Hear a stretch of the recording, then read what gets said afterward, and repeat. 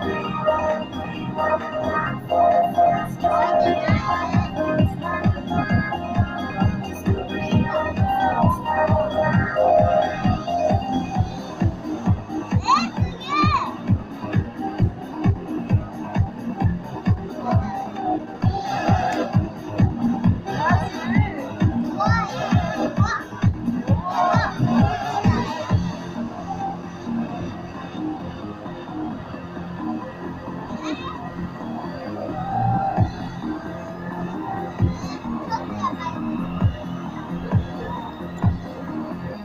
えっと、足を止めてくれてありがとうございます。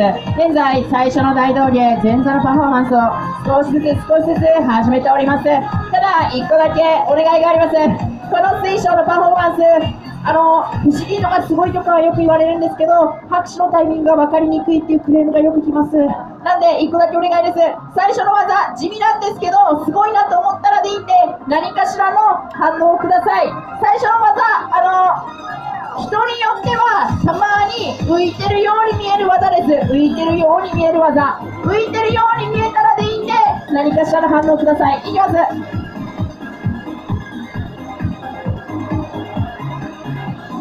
三二一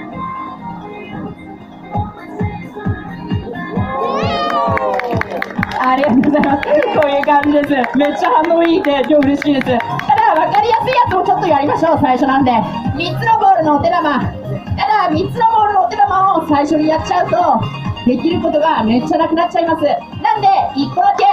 拍手は起きやすいんだけど、難しい、伝わらないよっていう技を1個やります。